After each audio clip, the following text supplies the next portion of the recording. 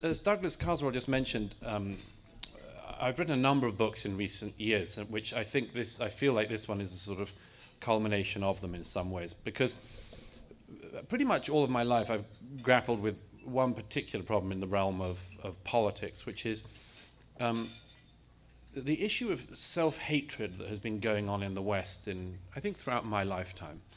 Uh, I'm now in my 40s, and uh, it's been a sort of consistent theme in, in a lot of my writing. Um, some years ago, I wrote a book on immigration called The Strange Death of Europe. And um, in that question, I, I, looked into the, the issue of immigration, not just in Europe, uh, specifically then the migrant crisis that was going on in 2015, which I witnessed close up, but what the situation is in immigration in all of the developed world.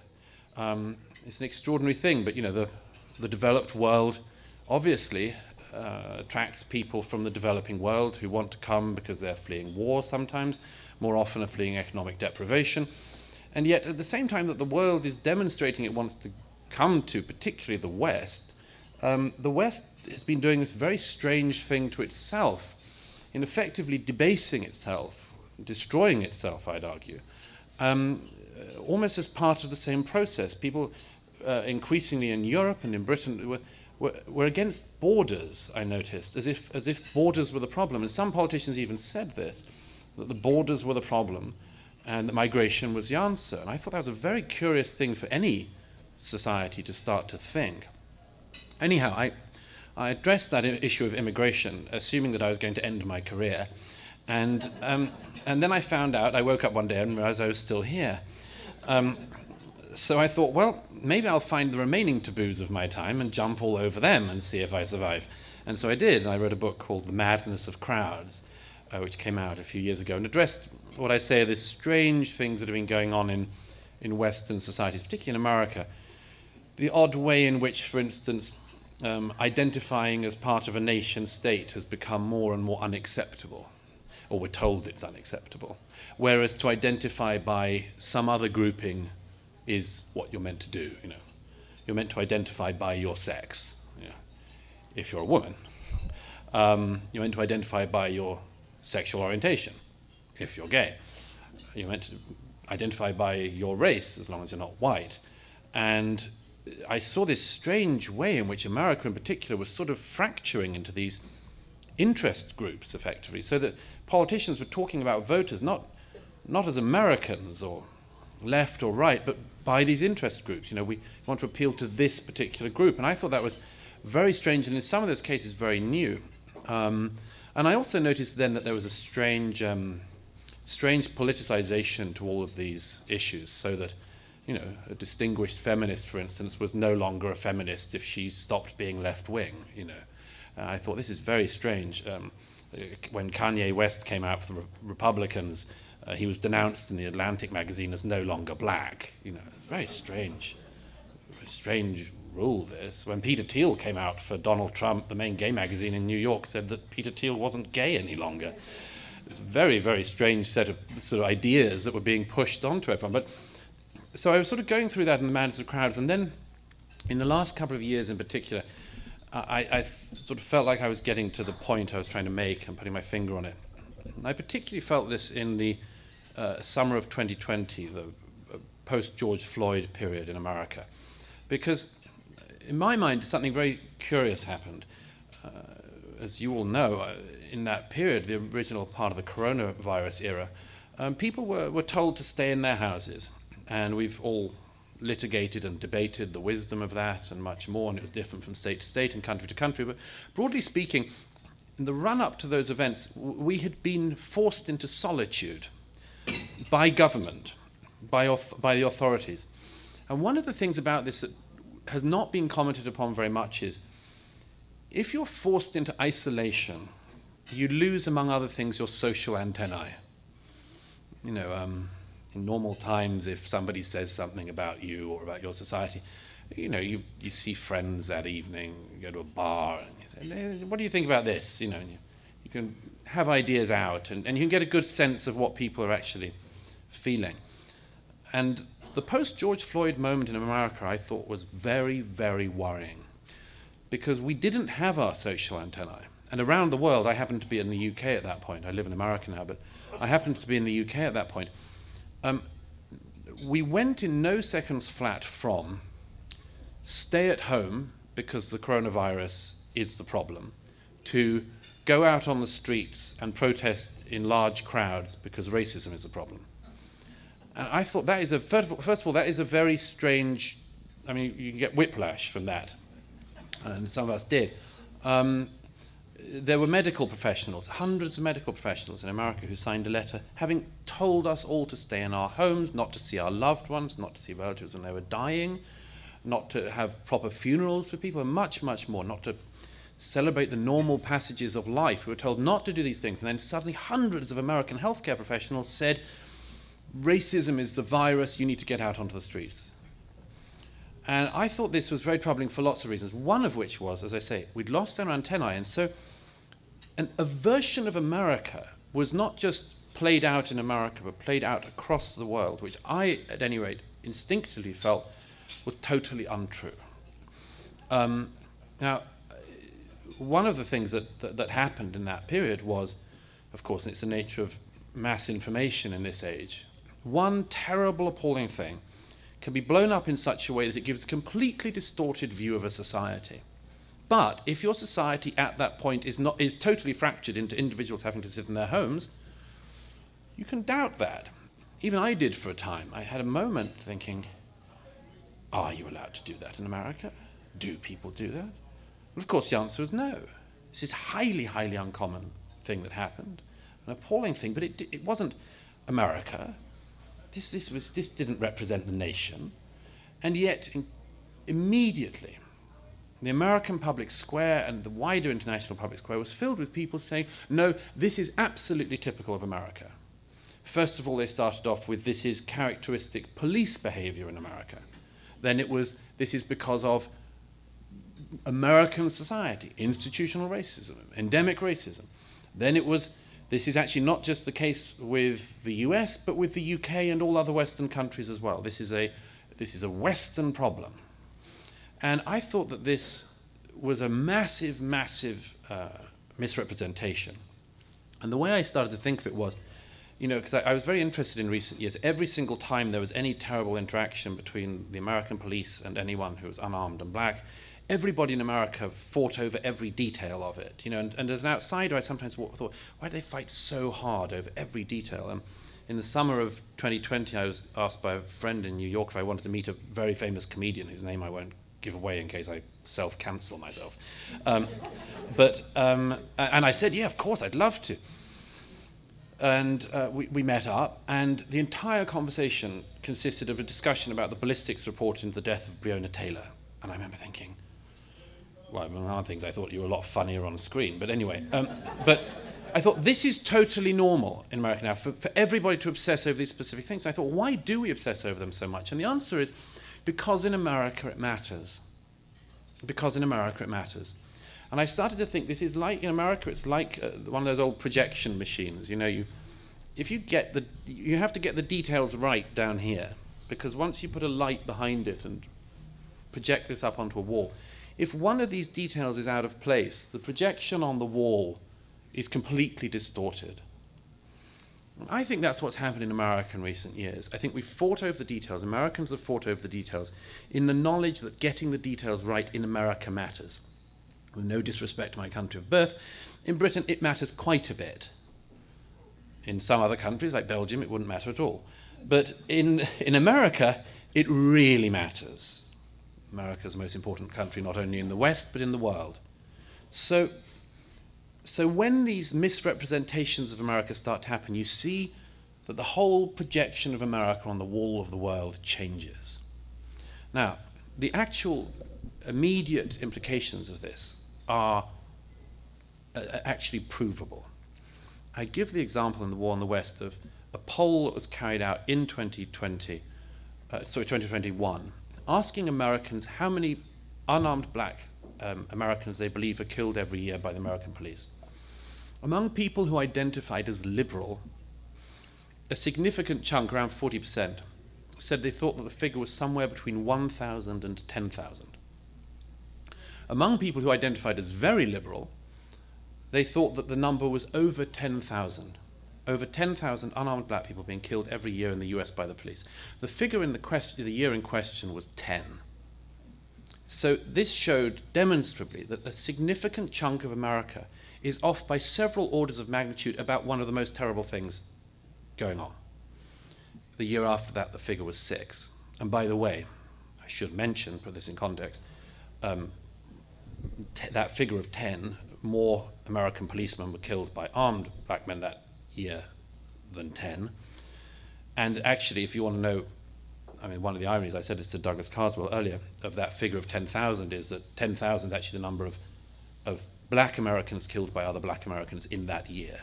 And I, I just, I think it's astonishing that this, this version of America has been projected, which, which we can now prove includes Americans who have a misunderstanding of the country they live in at the most fundamental, practical, everyday levels. Now, this has other consequences as well, which I go into in the book. One of those consequences is if you fall for this interpretation of American society as being forced upon America, within America, by other Americans, um, absolutely everything in America gets looked at in a different light. Now, I was reading the other day um, the British historian Paul Johnson's History of the American Peoples. And the opening line of this book is, he says, I'm going to slightly misquote it, but he says something like, the opening line is, the history of the American people is the greatest history in the world. Now, I read that the other day, I thought, that was only published in 2000. Can you imagine somebody, a popular mainstream historian, opening with that line today? They would be crucified for it. How, what do you mean? How dare you say that? Why? Because everything in the past, in America and the wider West, has also been played through this same incredibly negative, hostile lens. Everybody in the past is now held to the standards of 2022. Um, and by the way, this same thing happens in the UK. Um, our greatest national hero, Winston Churchill, has also gone through a toppling process in recent years. Now, whenever his name is published by the BBC, they link to an article which says the 10 worst crimes of Winston Churchill. One of the crimes was that he had some Victorian attitudes about race. Well, he was born in Victorian England, so it's not that much of a surprise. Uh, but we saw in the summer of 2020, when the iconoclasm burst out in America, we saw the same thing happening in the UK. Churchill's statue in Parliament Square was repeatedly attacked and eventually was boxed up in an iron box so that it wouldn't be pulled down. And as I discovered at that point, when, when I was debating with people who were very, very hostile about Churchill, I kept thinking, why would you come for Churchill? And one of the reasons this question kept coming to my mind was, first of all, why, do you, why can you put nothing in context? You know, okay, you think he did this thing in 1911 where one miner died in a police response in Wales. On the other hand, he saved the world from Nazism. You know. So, surely that's got to count for something. Um, he once said this thing that I don't approve of in 2022. Again, work out the ledger, please. Um, but I was repeatedly thinking, well, why would they come for Churchill? And one of the answers I came to was because if you want to attack Britishness, you have to attack Winston Churchill. Because that's one of the places where our sense of pride, purpose, what our parents and grandparents fought for, died for, is, is the, the, the person who represents this. Um, well, a similar process, a much bigger, much much worse process has been going on in America. Um, as I show in The War on the West, absolutely everything in American history has now been run through an entirely negative lens. And the negative lens always relies on the following things racism, connections with slavery, and in the case of the UK, of course, you have the added issue of empire. Um, and something very strange has happened. Uh, first of all, you have movements like the 1619 project of the New York Times. I, I, I write about this project in, in, in, the book a bit, and there's and then this project has been torn apart by other people, but it was a pleasure to do it again.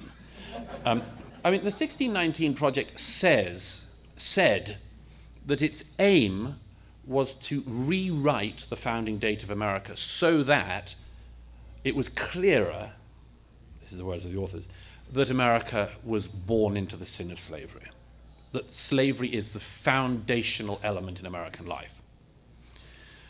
By the way, the authors also, um, I mean, they did hit jobs on everything, including, by the way, one that hasn't had enough attention, uh, was um, American capitalism.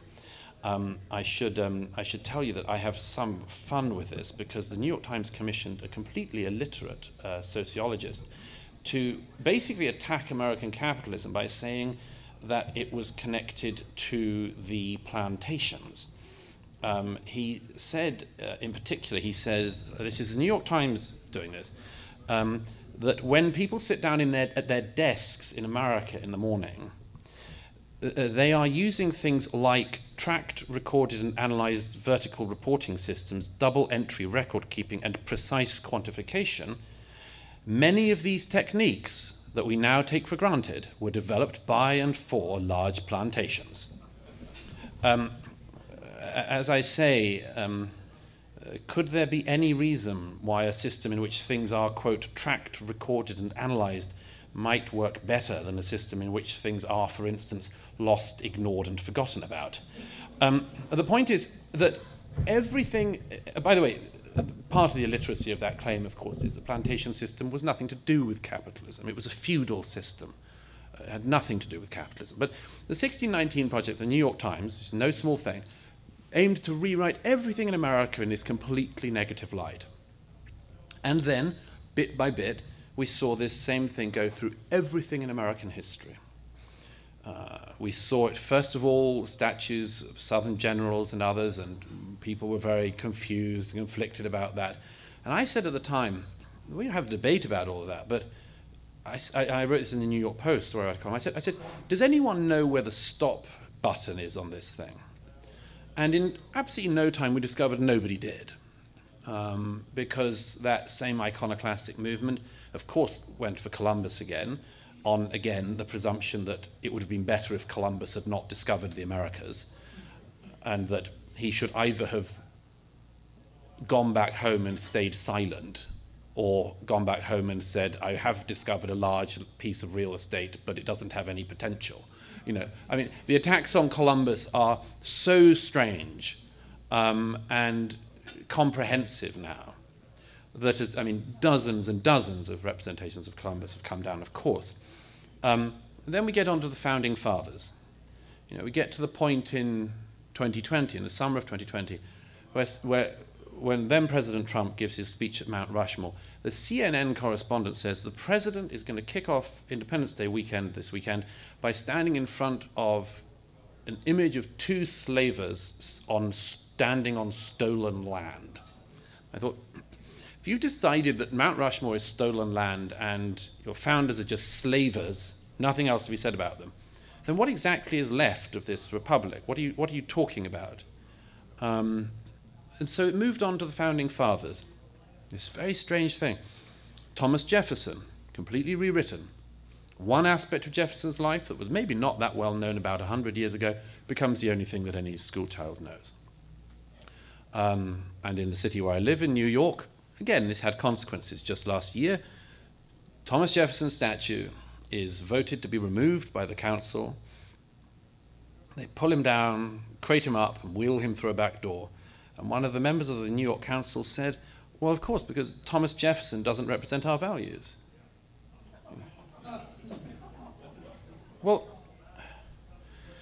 anyway, um, you move forward, you get to the Civil War, you get, course, the criticisms of the South, but you also get the same criticisms of the North. You have one of the most admired figures in American history, Lincoln. There used to be some unity about um, portrayed in the same light. I was in Portland, Oregon, the morning after they pulled down the mob pulled down the statue of Lincoln there. And a few months later, the authorities in Boston didn't even have to wait for the mob. They took down their statue of Lincoln before the mob got to it. Um, and then I came back to this same thing I was thinking in the case of Britain. Well, why would you come for Abraham Lincoln? I mean, I was speaking to one of his biographers recently, and aside from his extraordinary um, success as president, um, I mean, that story of Lincoln is one of the great American success stories. I mean, as this biographer of his said to me, Abraham Lincoln was basically born in the Iron Age. I mean, they had nothing, nothing. You know, Abraham Lincoln had maybe one year's formal education in his entire life. The rest was all self taught, all self taught. And he, and he rose to the highest position in the land. So, this is one of, by any standards, this is one of the great American stories. It's a story of heroism, it's a story of achievement, it's a story of pulling yourself up and making something of your life. So I came back to the same thing I had with Churchill was, of course you have to come for the founding fathers. Of course you have to come for Lincoln, you have to come for Roosevelt, you have to come for absolutely everybody. Even come for Martin Luther King now, who's also deemed not to be up to scratch by the standards of the 2020s. You've got to come for absolutely everybody because then we lose our story. Then Americans lose the right to their own story. They're told, first of all, your history is terrible. And then you have no right to feel any pride in it because there's nothing good in it. Now, this remorseless lens, I should say, is not used by any society other than Western societies on itself. This is a very strange thing going on in the modern West. You know, most peoples want to think well of themselves. All societies have something good to be said about themselves. Only today in the modern West do we allow ourselves to be talked about in this extraordinary, relentless, hostile light. And I was doing a, another interview last night, and a, a journalist said to me, "Well, you know, isn't part of the point of history, you know, that things get rewritten and reapproached, and we're always, you know, and I said, sure. As I say in the book, I, I don't want to stop any debate. I enjoy it. I think we can always benefit from it, and sometimes we can laugh at it. But, but in this I said, well, well, what are you against? And I said, I'm, I'm against people who are entirely negative and hostile about the society, the critics. And this, the interviewer said, well, how can you tell the difference? And I said to him, well, it was a radio interview. I said, you know, you can tell it in your life, I can tell it in my life. I said to him, if, if I said to you, now look, you're, you're no good as a radio presenter. Well, no, if I, I said to him first, I said, if I said to you, look, you're a great presenter, um, but there's this thing you could do to be better, you might listen to me. You might not, you don't have to. But if I said to you, you're no good as a radio presenter, in fact, you're terrible, um, you've got a face for radio, but you don't have a voice for radio. Um, you don't seem to know anything, and everyone hates you, and, and much, much. If I just went along like this, I said, Would you say, What an interesting critic? or would you say, This guy really doesn't seem to like me, and I'm going to try to ignore what he says? Well, I think it's the same thing with nations. I think if somebody says, and it always is the case, there are things you can improve in your society, then we listen. I mean, America in particular listens to that. Western democracies are very good at listening to criticism. That's how we've developed, how our opinions have changed, how societal norms change. We listen, we're interested. But if somebody says, there's just nothing good about you, you know, you've been rotten from the start, you're not dealing with a critic, you're dealing with an opponent. And, you know, I, I, I try to put, I try in The War on the West to add the context which nothing in our time seems to have. You know, I, I make the point that, you know, none of this is whataboutery, which is one of the left's claims. I make the point that, for instance, at the time that America was involved in slavery, everybody in the world was involved in slavery. Every civilization in history had had slavery of some kind. You know, if we're going to pull down things created by slavery, you better get going on the pyramids in Egypt. Uh, people who built those weren't paid a fair day's wage for a fair day's labor. Um, you know, the Parthenon in Athens wasn't built by Alcibiades, it was built by slavery. Um, you've got to pull that down. You know, America was normal at the time for this.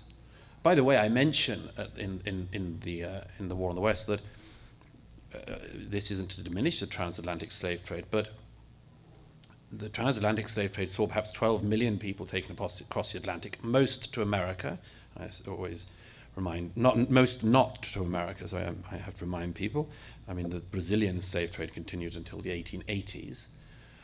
Um, but at the same time, 18 million, one eight million people were taken from Africa and sold into slavery in the Arab countries. Why do we not know anything about this? Why does nobody mention this? Well, among other things, because all 18 million of them uh, were deliberately made sure there would be no future generation. The Arabs castrated all of the males, so there would be no more um, black Africans in the Arabian Peninsula. That has a consequence to this day, by the way. I have a great friend who was born in Somalia who spent part of her upbringing in Saudi Arabia. And she was the first person to alert me to the fact that in, in Saudi Arabia and other countries in the Middle East today, the word for a black um, person is abid, or abid in the plural, which is slave. Literally, the word they use in the Arab countries for black people is slave. Um, and one of the things I think that is coming to us through this strange period of self hatred of ourselves is an inability to look around the rest of the world. We are so busy tearing at closed wounds in our own societies that I wonder whether we even have the interest in looking around the rest of the world today. You know, there are 40 million, 40 million slaves in the world today. That is more slaves than there were in the world in the 19th century. And if we could just get the past in America and the rest of the West into some perspective, we might do something about that. You know, uh, whilst we talk about racism in America and endlessly tear over, you know, six or ten bad police interactions with black Americans in a year, one million Chinese Muslims are in concentration camps as I speak. Might we get some of this into some perspective? It seems to me that getting that into some perspective is absolutely crucial. You know, and I'll, I'll, I'll hand over to you shortly, but in the 21st century, there is, there is only one power in the world likely to overtake America as the world's foremost economy, and that's China, run by the Co Chinese Communist Party. And uh, I, I often try to find, it goes back to what Carol said earlier about young people and trying to make sure that some of these ideas get to them. I often try to like put in a nutshell what what you should say to various critics, indeed haters of America and the West. And one of the things I often say to people is, you know, people who complain about the appallingness of our own societies, how well, we're terrible, we're racist, we're this, we're that. I would say, you know, if you, if, if you didn't like the American period of power, you're going to love the Chinese communist one. you know, do take your, your human rights uh, complaints to the Chinese Communist Party and see what they say. You know, and in a way, this is important to bear in mind because, again, it comes back to this thing that the things that we attack ourselves on are so often our virtues. You know, the late Daniel Patrick Moynihan once said that in his time at the United Nations in New York, and then not the happiest job for anyone to, uh, to have. Um, Daniel Patrick Moynihan said that one of the things he realized was that claims of human rights violations could almost always be said to be in exactly inverse proportion to the number of human rights violations. I'll explain what he meant. A country in which you hear endless talk about human rights violations is likely to be a country that is concerned about that. Whereas countries in which you never hear about that is because they don't care. Now, there's a follow on problem for that, which young people in particular, in particular can fall into, which is the mistaken assumption, therefore, that the societies in which human rights violations are most commonly said to occur, a young person might think, are indeed the worst countries. That, I would submit, is one of the things that young Americans have been told in recent years, have been persuaded into. That the country they hear the most about is, in fact, not the best, but the worst. And just to finish before this, I, I say in, uh, in the book that you know, there are some very practical things people can do to turn this around. I've taken enormous inspiration in the last year or so from the action that American parents have taken. You know, American parents who discovered, apart from anything else during COVID, what their kids were being taught. And, you know, they didn't wait for a political leader to come along and tell them, you know, what to think or anything. They, you know, they needed support, but this was just Americans rising up and saying, no, you don't get to do this. And there's an enormous amount that can be achieved by exactly that. There's a lot of very practical and good things that are happening here in America. But the second thing, it's one of the things I sort of close on in the book, is we have to find a way to turn around this society in which resentment has become key. And I say resentment because, as I say, resentment is one of the deep, deep human emotions. Uh, and we can all have it, we all fall prey to it at some point. Uh, and some people, as we all know, get stuck in it. And this is nothing to do with racial, it's not, nothing religious, it's nothing, it's not even by socioeconomic class. Who doesn't know somebody who's got almost nothing materially, but is somebody filled with gratitude and love? And, and equally, who doesn't know somebody who seems to have a lot and is filled with resentment about not having more or somebody did them down once? My point is, is that that's a very fundamental human emotion, resentment. And you can be encouraged into it. You can be encouraged into being a resentful person. Well, it's the same thing with a society. A society can be encouraged into being a resentful society. You don't have everything you want, and somebody else is to blame. Not everything in the past was exactly to your liking, so tear down the past.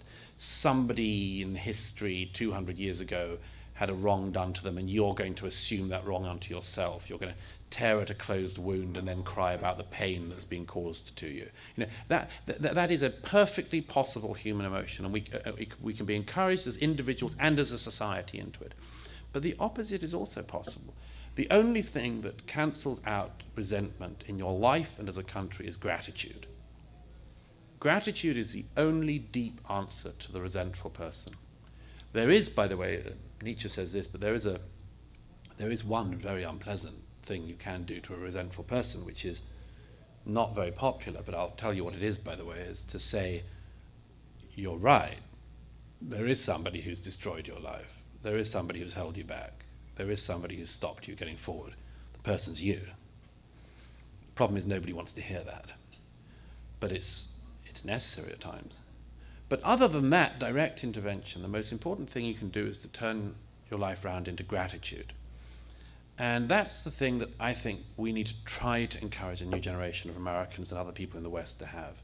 Not why was everything in the past not directly in line with what I believe and want in my life now, but what, what was good that has allowed me the things I've had, I have now that are good? And as I say towards the end of the War on the West, we know that there must be something good about the West. And the world knows there must be something good about the West. Because the number one destination in the world that people want to come to is America. And there's a bit of a gap after that, but numbers two, three, and four are Britain, Canada, and, and uh, somewhere else in Europe, I can't remember where. Uh, the point is, is that if, um, as, as I thought when I was covering the migration crisis in 2015, the boats came in only one direction. The boats were coming into Europe from North Africa and the Middle East. Boats heading off from North Africa to the southern shores of Europe do not meet boats coming the other way. They don't meet French people and Italians trying to flee Tuscany and make it to North Africa. You know, they, and it's the same in America. The millions of illegal migrants who come over the border every year is a massive challenge for this country. But those migrants walking north, breaking into America, do not meet people going the other way. They do not meet millions of Texans desperate to make it to Venezuela. Okay, there's a reason. And one of the reasons I submit, I say in the book, is that's because the world recognizes that the West has done something right and they want to be part of it. And my suggestion to the people of the West is to recognize, first of all, that fact that the, that the footfall tells us something. The footfall tells us something. And secondly, to recognize that if you've got something good now, which we have, it's not sheer chance. It's because you did something right in the past. If you're good in the present, it means something must be good about you in the past. Now, people around the world know that. Part of my hope, part of my aim with this book, is to make sure the peoples of the West know that too. Anyway, thank you.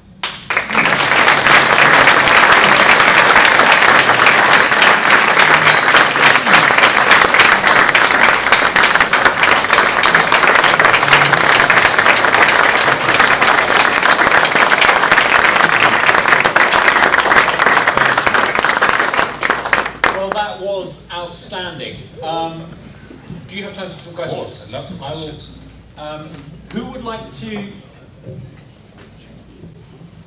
Hey Douglas, great speech. Um, I want to get your thoughts on the Biden administration's new Ministry of Truth, or I'm sorry, Disinformation Governance Board.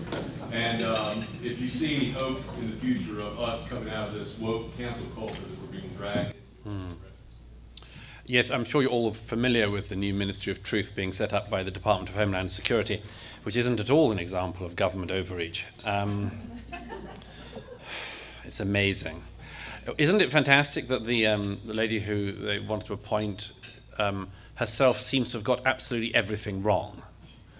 Uh, she claimed that the Hunter Biden laptop story was uh, disinformation. So if your disinformation czar believes that a story that's true is disinformation, it seems to me she's not greatly qualified for the role. Um, and by the way, that, that, that is a very sinister one. I mean, you know, I, I just I write a column for the New York Post. I'm writing it today, but I was saying in that that you know, we have the answer to these problems already in America. It's called the First Amendment.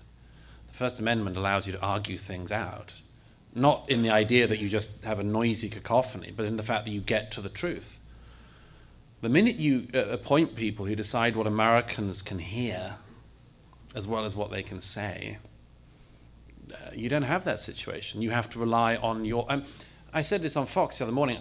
I wouldn't trust myself to be the disinformation czar. I wouldn't, because nobody could perform that role. I couldn't perform it. This stuff is litigated in the public square by the American press and free media, arguing things over, politicians arguing things over, the American public arguing things over. That's the only answer. But I mean, who would you appoint to tell you what you're allowed to read in advance of an election?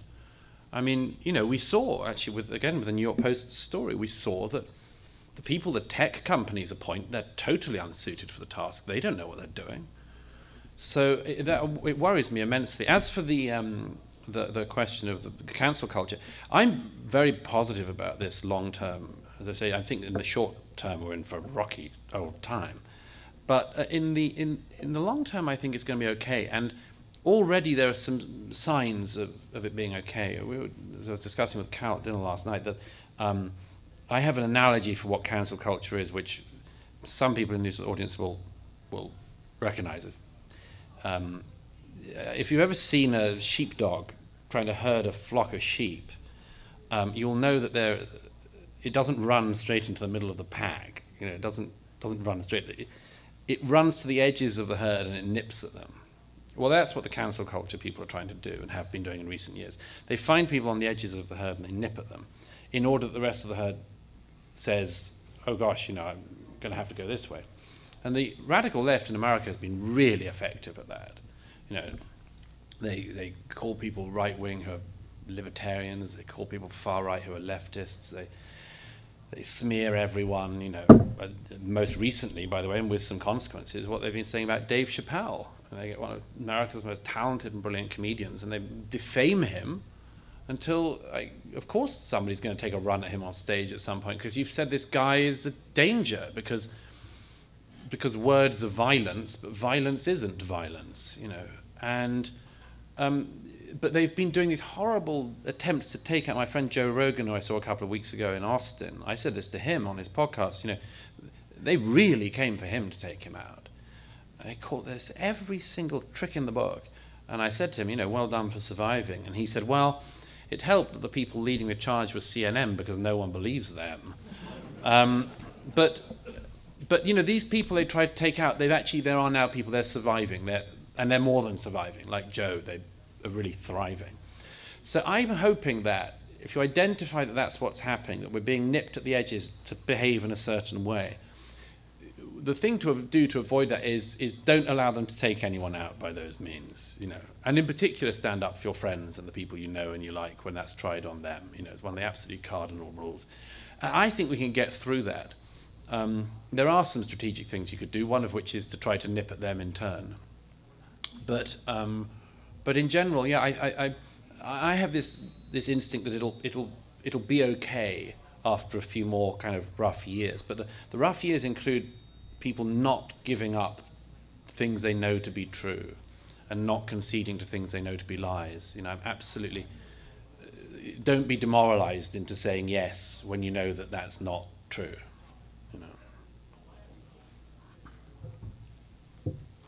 Kim?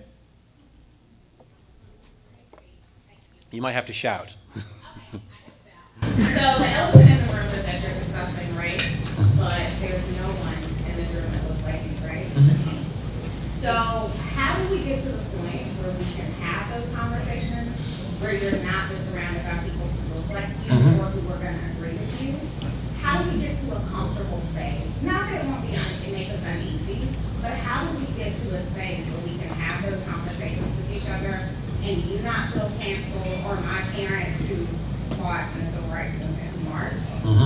How can we say that two things can be bad?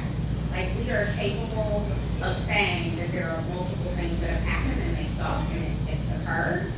Um, but I'm not carrying my parents' burden, right? But I can acknowledge their burden and what they went through because my mother's very much so alive. How do we get to that point where we can have those conversations and people not smacking each other or me not be the only black person? in the room? Yeah, yeah. It's a very good question. Um, I mean, you know, the f- first thing is, I mean, uh, I speak all over the place and uh, all sorts of audiences and very diverse and, you know, um, travel all over this country. And as I was saying at lunch, always go, in particular, anywhere I haven't already been, you know. Um, and as, as for the, the, how you have a proper discussion on it, I mean, I think there's, several things. I mean, one is you is not allow bad actors into the space, uh, bad faith actors, and I think that that has been something which has happened recently. Let me give you a quick example. One of the people I, I critique, particularly in the opening of the War on the West, is this um, person called Robin DiAngelo, who wrote a book called White Fragility. You probably know. I mean, I actually had to read the book. I mean, lots of people bought it, but I actually had to read it. Um, and uh, uh, DiAngelo is a real piece of work because she, she's white herself, of course, and she just makes assertions that are totally untrue. I mean, she was interviewed uh, um, uh, on one of the networks um, by a female journalist a couple of years ago who said to her, um, you know, you say that, um, and she, she put one of DiAngelo's crazily like racist actually, sort of statements to DiAngelo and said, what evidence do you have for this? And DiAngelo's response was, I think, she said, I think there's a type of glee among white Americans when black bodies are punished. So she answered one unproved assertion by making another, even wilder, unprovable assertion. Um, and nobody sort of pick, picked her up on this. And in fact, DiAngelo will not. I, I Jordan Peterson and I had offered um, money to debate DiAngelo, money to go to a charity. So come out and debate your ideas. You're meant to be a public intellectual. Public intellectuals go out into the public arena and they, they argue. She will not debate anyone. Same thing with Ibram X. Kendi, who's one of the other big figures of the era. He will not debate his own ideas. So I think that's a problem. You know, I always say I, I've I've debated all kinds of people in my life, you know, and I think it's part of your job as a public intellectual to do that whenever you're asked, whenever you can. Uh, but I am very struck by the fact that the people making the most radical assertions about America today will not debate them. And that is a very negative development. That did not used to be the case. You know, like in your mother's generation, I guess how old she is, but that was not the case with prominent American black intellectuals, for instance. I mean, they, goodness knows, they knew how to argue in public and have their ideas out and, and be challenged and challenged in return, you know. It's impossible not to see something like James Baldwin's debates, like his debate against William F. Buckley, and not, I mean, just be, you know, that wasn't somebody who was afraid about debating his ideas, you know. But this, there is a new generation of people forcing much, much more radical ideas, much more radical ideas, on the American public who will not discuss them. I always go wherever I'm asked, uh, you know, to, to talk about my ideas, and I always say, whenever I speak at a university, for instance, you know, I always say, I, I'm here for as long as you've got, you know, answer as many questions as you have, because I think that's part of the fun of it. But I am really struck by an, an unwillingness now to engage in ideas. But so, I mean, anytime you can find me anyone who's actually willing to, you know, do a debate, a different audience in a different place, I'm there. Book my own ticket. I saw a hand up over there. Yes. Uh, hey Douglas, Hey. uh, I, uh, I, uh, really enjoyed your speech and I loved your book. Uh, in it, uh, in it, I noticed you, you very, uh, uh, several times you, you would differentiate between good faith arguments and bad faith Mm. arguments from the left. Uh, uh, I, I guess my question is, you know, if you look back in the past, uh, uh, conservatives, uh, and people on the right have sometimes just been, been reflexive against the left. Uh, and, uh, you know, the William F. Buckley quote about history and yelling stop comes to mind. Uh, how do conservatives and freedom-minded people, fight the war on the West without, uh, just falling into the trap of becoming a reflexive against, uh, the, everything the left Mm. That's a very good question, actually, because it's um, it, it's slightly linked to the previous one because there is a big temptation always in political life and cultural battles and so on um, to do back to your opponents what you think they've done to you, you know. And there's a big, you know, there's a, a, a big issue in that. The, the Ron DeSantis bill is an exa- example. I think that DeSantis, what he did was smart, and and I think that if a company makes wild political interventions and has protected status in a place, then you know, okay, you're not any longer an entertainment company. You're some kind of weird political actor. And I actually, I think that sort of action is totally reasonable. There is, a, there, is a, there is, however, a layer you can get to which is very dangerous, and it's a layer I've spoken about before, which exists in all of our politics today, which is the desire not just to defeat your opponent, opponent but to hurt them. You know, and I worry about that because in the process of that, you do something which is likely to not only hurt your opponent but hurt you as well. You know, who, who it who famously said, uh, "When a man's willing to pick up any stick to beat an opponent, he might find that he's picked up a boomerang." Um, th- there is a there is something that you destroy in yourself if you give up all principles, all rules. You know, you become the thing you think you're battling. Um, but I think that I think that this is a challenge that conservatives are thinking about at the moment. Is effectively, you know, do we fight fire with fire? If so, is there a limit to how we do it, or can we do it in a reasonable way? And there's a there's a big debate on the American right in this. I just wanted to make one other point, as I say, was related to the previous question as well, which is um, I think we have to be very, very careful in America in particular at the moment that we don't end up in this vengeance cycle. And I think it can happen politically, and I think it happens on the race issue as well. Um, the person I just referred to, Ibram X. Kendi, in his book, um, titled, I think rather inaccurately, How to Be an Anti-Racist, says um, the answer to past discrimination is present discrimination, and the answer to past injustice is present injustice. This, this reminds me of something I wrote about in The Madness of Crowds. Uh, there was a, because I think this is something that's a temptation in all social movements, and it's particular in our day to do with racism. There are people like Kendi who say, because there, there, were- it was undoubtedly the case that black Americans historically were prejudiced against, we should be prejudiced against white Americans today. It's almost as if you could, it's like a, an overcorrection. Let's, let's do that in order to get to normal. And one of the things I say is, in my observation, you never do get back to normal in that. If you overswing the pendulum, it doesn't reassert itself by some force of nature. You might have just sent the whole thing spinning off elsewhere. I give the example in my previous book, In the Madness of Crowds, on this with the worst fringes of the feminist movements. The best fringes of feminist movements, or the best parts of the feminist movement, delivered right, you know, votes for women and much more. But there was a moment in third and fourth wave feminism where you got particularly um, strident American feminists who said things like, men are the problem. like at that point, you get, what, what you're doing at that point is saying, because women didn't have the same opportunities as men historically, let's beat up on men now. Well, are you sure that's going to work? You know, are you sure you're going to win your battle by alienating 50% of the population? You know, um, and, and I think we have to really resist that temptation in America and in the West, that, that this idea that the, the, the response to past injustice is present day injustice. You know, the, the response to past injustice for any group is present day equality. That's it. I think we've got time for a couple more questions. Um, did anyone, I saw a hand up at that table over there. Yes, sir. I had more of a, kind of an observation, to see what your thoughts were, but one thing that comes to mind that emblemizes the era is the, uh, image created by Goya. Sleep of reason gives birth to demons.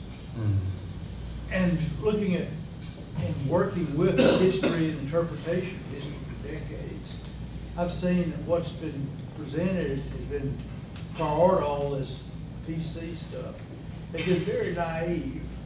I noticed in your um, early pages of War on the West, give the image of the National Trust properties in Britain and how they were initially interpreted as uh, just uh, in of just facts, just beautiful things to see, but now they're being twisted into something used as a bludgeon.